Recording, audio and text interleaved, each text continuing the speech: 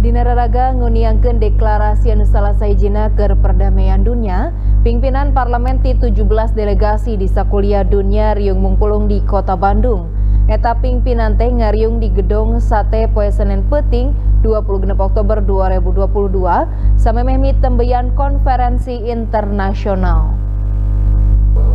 Sakumna pimpinan parlemen di 17 delegasi negara di sakuliah dunia riung mumpulung di gedung Sate Kota Bandung poe Senin Peting 24 Oktober 2022 mitembeyan konferensi internasional.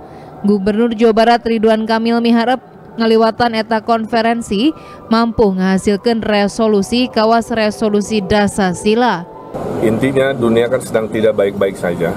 Jadi inisiatif berkumpul ketua-ketua MPR sedunia ini sangat uh, patut kita apresiasi jauh-jauh kan dari negara-negara oki mayoritas datang ke tempat ini mudah-mudahan menghasilkan sebuah resolusi seperti resolusinya uh, Dasar Bandung yang luar biasa. Tadi saya pidato membuka membacakan Dasar yang poin-poinnya masih relevan lah kira-kira.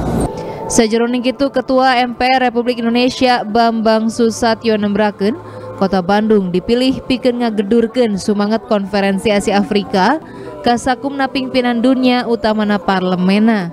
Perang Rusia Ukraina anu mangaruhan rea negara ge jadi salah sahiji kasang tukang eta konferensi di kokolakeun. Dirina ngebrehkeun eta konferensi teh dipiharap mampu medalkeun deklarasi Bandung.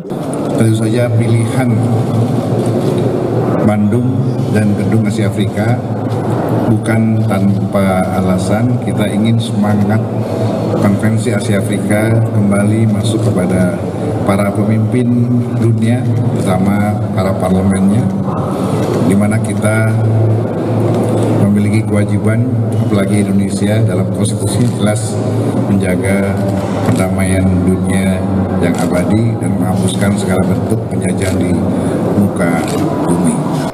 Di sageningan eta, Wakil Ketua MPR Republik Indonesia Hidayat Nur Wahid ngeceskeun Eta konferensi teh dikokolakeun pikeun ngawogan ketak lembaga parlemen anu salila ieu tacan katang tayungan secara maksimal di nawangun forum MPR.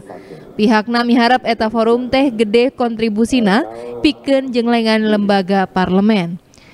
Tapi intinya adalah forum itu dalam rangka menguatkan kerjasama dan peran daripada lembaga-lembaga keparlemenan dalam hal ini adalah lembaga MPR, lembaga-lembaga yang sejenis atau setara dengan MPR yang selama ini belum terwadai secara maksimal di dalam berbagai organisasi parlemen yang ada yaitu di parlemen internasional namanya Interparliamentary Union maupun parlemen OKI namanya VOAC.